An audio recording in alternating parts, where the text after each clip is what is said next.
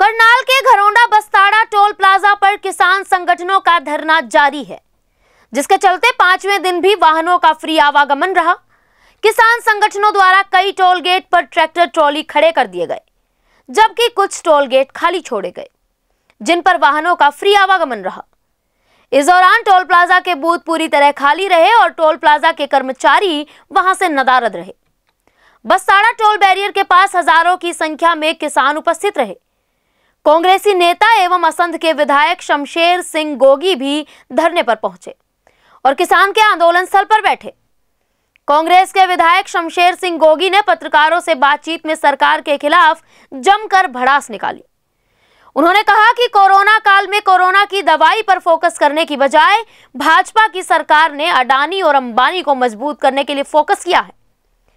उन्होंने आरोप लगाया कि मध्य प्रदेश सहित अन्य राज्यों में विधायकों की खरीद फरोख्त अदानी अंबानी के पैसों से हुई थी और भाजपा के बड़े नेताओं ने उनका कर्ज उतारना था। इसलिए वे यह कृषि विधेयक लेकर आए। उन्होंने कहा कि किसानों द्वारा टोल फ्री करवाया जाना एक अच्छा कदम है, क्योंकि सरकार पहले ही वाहन रजिस्ट्रेशन व पेट्रोल डीजल के रूप में टैक्स लगाकर जनता की जेब हल्की कर देती है। ऐसे में टोल टैक्स लगाने का औचित्य ही क्या है? घरोंडा से विवेक राणा की रिपोर्ट। आज तो मैं यहाँ इसलिए आया कि देख कितना पुण्य का काम करा ये टोल प्लाजा जो है ये वैसे ही सरकार की गलत नीति की वजह से लगे लगना ही नहीं चाहिए। जी। जब हम रोड सेस दे रहे हैं डीजल पे भी सेस दे रहे हैं रोड का टैक्स भी दे रहे हैं सारे काम हमारे पे ले हुए तब फिर एक्स्ट्रा बर्डन भी हमारे पे। टोल प्लाजा सरकार की गलत नीति का वो है। दुनिया भर का टैक्स इकट्ठा कर रहे हैं। और जब भाषण देते ना वहाँ के, दिल्ली से बैठ के बढ़िया बढ़िया सूट पैर का आदमी, वो कहते टैक्स पेयर का पैसा है। अरे टैक्स तो सारा का सारा हम देते हैं, बच्चा अभी पेट में होता है, उसकी दवाई खरीदा उस पर भी टैक्स देवे। ये उनके खिलाफ सही आंदोलन चले ये जन आंदोलन है, ये किसान आंदोलन नहीं है। देखो, मैं तो सरकार से एक बात कहना चाहता हूँ तारे से गलती से शेर की मूछ का हाथ लग गया। किसानों के बगैर ये देश नहीं चल सकता एक दिन भी।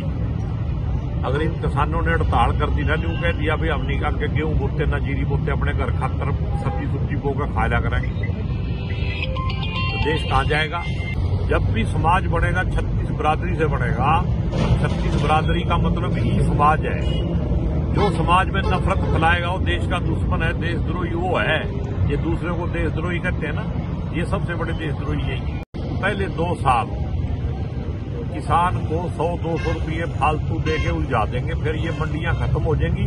और फिर जैसे बिहार और यूपी में खरीदी जाती ना, आठ सौ में हज़ार में फिर मारे दाने हम पीछे पीछे फिर करेंगे, ये कहेंगे भी हम नहीं लेंदे बेच लो कड़ी बेचने हो सरकार के जो आज सरकार चलाने वाले नुमाइंदे हैं, वो तो अडानी अंबानी के पास बिके हुए उनके पैसे से मध्य प्रदेश की कई कई की सरकारें जो ये एमएलए खरीद खरीद बनाई हैं वो उन्हीं का पैसा था वो हिसाब मांग रहे अपना वरना महामारी के बीच में कोरोना की दवाई लानी थी या, या अध्यादेश ले आकर ये एक्ट पास करने थे हमारे देश पे हमला हो गया था जो इमरजेंसी लगी थी भी एक्ट तुरंत पास करो कोई खतरा था क्या खेती बाड़ी को कोई खतरा हो रहा था कहीं कोई धरना प्रदर्शन हो रहा था भी हमारे को ये दो आपको ज़बरदस्ती जहर पिलाया जा रहा है दवाई की ज़रूरत नहीं क्यों दवाई दे रहे हो यू अनिल विज बेचारा वो पड़ा उसको ज़बरदस्ती हो वैक्सीन ठोक दी और बीजेपी वही एक धक्का आदमी था उसी का वैक्सीन डाली उधर का बीमार हो रहा हो कोई बीमारी नहीं है ये सिर्फ़ बीजेपी ही और आरएसएस ही अपने आप में बीमारी है ऐसे ही लेटेस्ट खबरें पाने के लिए बेल आइकन को क्लिक कर हमारे चैनल को लाइक, शेयर एंड सब्सक्राइब करें। धन्यवाद। JBD Banquets lie hain incredible marriage palace Rajgharana and the finest banquet hall Jyoti Garden. World-class catering, centrally air-conditioned, lush green lawns, state-of-the-art lighting. A perfect venue for wedding, launching and parties. Rajgharana and Jyoti Garden at JBD Banquets Enterprise.